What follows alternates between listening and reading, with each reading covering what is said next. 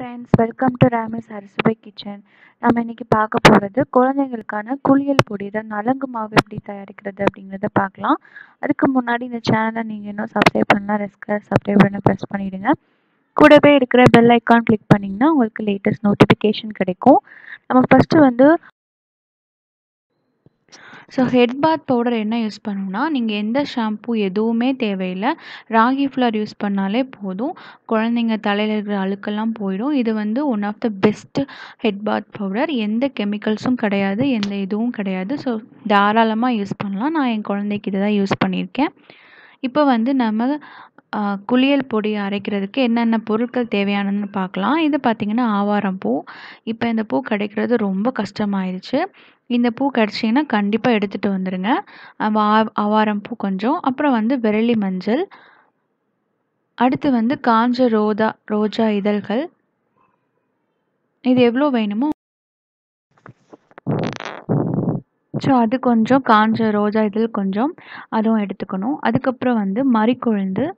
மறிக்கொழுந்து எதுக்குன்னா நல்ல வாசனையாக இருக்கும். உங்கள் பொடி அரைச்சிங்கனாலே ரொம்ப ரொம்ப வாசனையாக இருக்கும். அதுக்கு கொஞ்சம் மறிக்கொழுந்து. அப்புறம் வந்து கஸ்தூரி மஞ்சள். இதுதான் கஸ்தூரி மஞ்சள். இதெல்லாம் வந்து உங்களுக்கு நாட்டு மருந்து கடையில் கிடைக்கும்.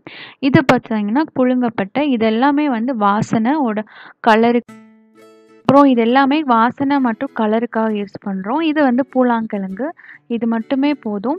இதெல்லாம் சேர்த்து நல்லா காய வச்சு நீங்கள் அரைச்சி எடுத்து வச்சுக்கோங்க. இதுதான் அந்த பொடி. எல்லாமே சேர்த்து நம்ம அரைச்சி வச்ச பொடி. இதில் வந்து மஞ்சள் வந்து தனியாக அரைச்சிருக்கோம். இதெல்லாம் வந்து ரோஜா இதழும் தனியாக அரைச்சிருக்கு.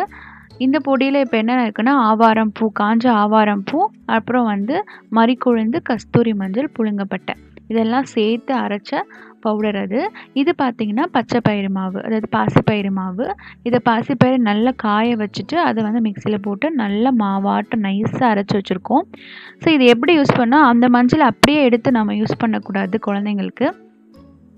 ஸோ அதை வந்து நீங்கள் பாசிப்பயிறு மாவை வந்து பாசிப்பயிறு மாவு கூட கலந்து யூஸ் பண்ணணும். இப்போ வந்து நாலு கரண்டி பாசிப்பயிறு மாவு போட்டிங்கன்னா ஒரு கரண்டி மட்டும் இந்த இந்த வாசனை மா கஸ்தூரி மஞ்சள்லாம் சேர்த்து அரைச்சி வச்சுருக்கோம் இல்லையா? அந்த பவுடர் போட்டுக்கணும்.